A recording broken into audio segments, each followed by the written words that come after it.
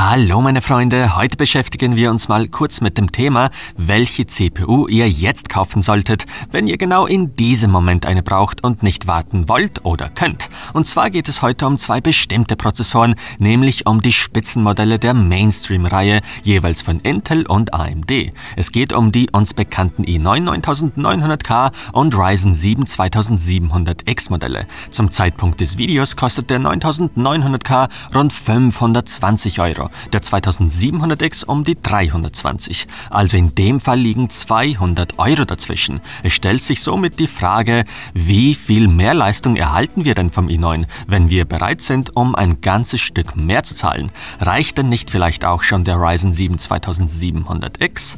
Mit diesen Fragen setzen wir uns im heutigen Video mehr oder weniger auseinander. Und ich bin mir sicher, mit so einem Video zettel ich wieder Fanboy-Kriege an und gieße Feuer in Wunden beider Lager, also in Intel und AMD. Aber ich will hier einfach nur die Fakten auf den Tisch legen, so gut es mir halt möglich ist und sofern ich nicht was übersehe. Grundsätzlich würde ich ja davon abraten, jetzt eine neue High-End Mainstream-CPU zu kaufen, da angeblich schon in wenigen Monaten die neue AMD Ryzen 3000er Serie vor der Tür steht.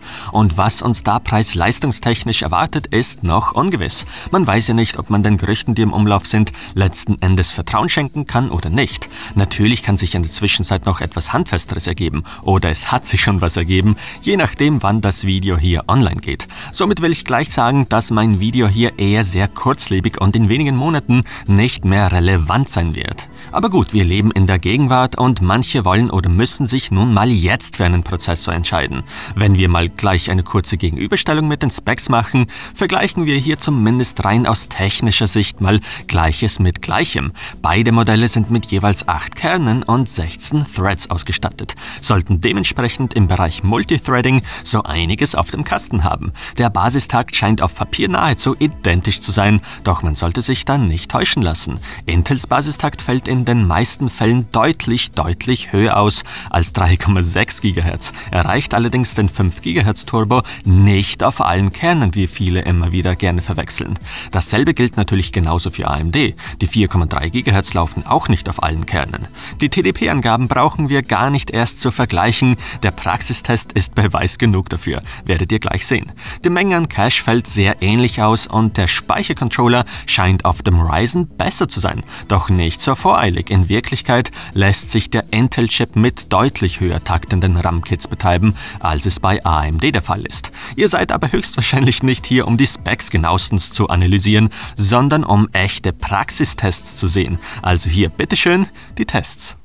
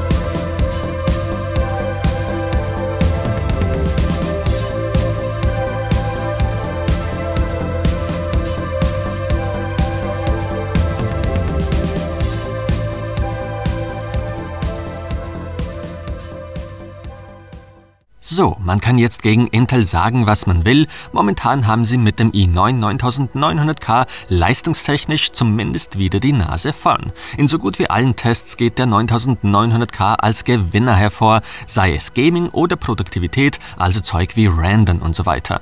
Preis, Temperaturen, Stromverbrauch und die daraus entstehenden Zusatzkosten sind natürlich eigentlich auch mit in Betracht zu ziehen. Dennoch muss man ehrlich sagen, dass sich der AMD Ryzen 7 2700X wacker schlägt und dem 9900K das Leben doch nicht gerade leicht macht, besonders da er schon gewaltige Pluspunkte in so manchen Bereichen ernten kann.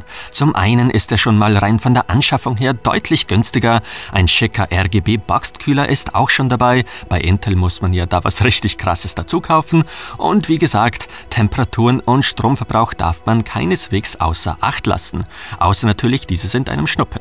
Ich weiß nicht, ob ihr alle es mitgekriegt habt, aber es gibt nun für den jahrealten Cinebench R15 Benchmark eine Ablösung. Nun ist der neue Cinebench R20 am Start und dieser ist nun extremer gestaltet, passender für die heutzutage CPU-Welt, in der viele Kerne vorkommen. Nun sind auch schwere AVX-Lasten integriert, was natürlich den Stromverbrauch und auch Temperaturen in die Höhe jagt, besonders bei Intel-CPUs, wie man sieht. Nur sieht man in den Tests wiederum auch, dass sich der Punkteabstand zwischen i9 und Ryzen 7 so nochmal etwas vergrößert im Vergleich zu den Ergebnissen im alten Cinebench R15. Also wobei ganz objektiv betrachtet der 9900K rein aus Leistungssicht definitiv der schnellere Chip von beiden ist, nicht nur im Single-Core-Bereich, sondern beim Multithreading genauso, muss ehrlich gesagt werden, dass man mit dem Ryzen 7 2700X auch sehr, sehr gut aufgestellt ist. Klar ist man mit etwas weniger FPS unterwegs, klar rendert der 2700X nicht ganz so schnell wie der 9900K,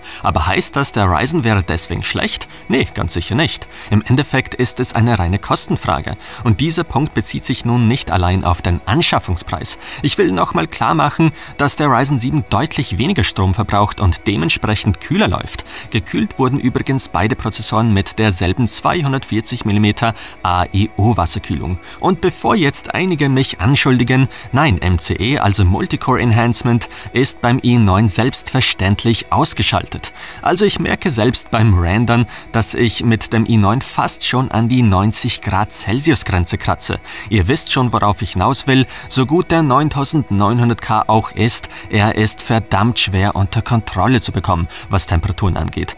Allerdings habe ich schon des Öfteren gehört, dass viel aufs Mainboard ankommt und dass sich so auch die Leistung teilweise unterscheidet. Das Geld für eine ordentliche Kühllösung muss somit definitiv mit einkalkuliert werden. Unterm Strich finde ich, dass es nicht unbedingt sinnvoll ist, jetzt eine der beiden CPUs zu kaufen. Es wäre eventuell klüger abzuwarten, was AMD in den kommenden Monaten raushaut. Eventuell ist in der neuen Serie aus dem Hause AMD was für euch dabei oder es fallen dadurch Intels Preise und ihr könnt zur i9 CPU greifen. Ich hoffe, ich habe euch damit jetzt nicht verwirrt. Am Ende liefern beide Prozessoren sehr gute Leistung ab und ich denke nicht, dass man jetzt mit einer der beiden groß etwas falsch machen kann. Letzten Endes entscheidet allein ihr und mein Video soll nur als kleine Hilfe dienen, mehr nicht. Ich will euch nicht sagen, kauft die CPU oder kauft die kauft euch die, die euch besser zusagt. Und in diesem Sinne, danke fürs Zuschauen.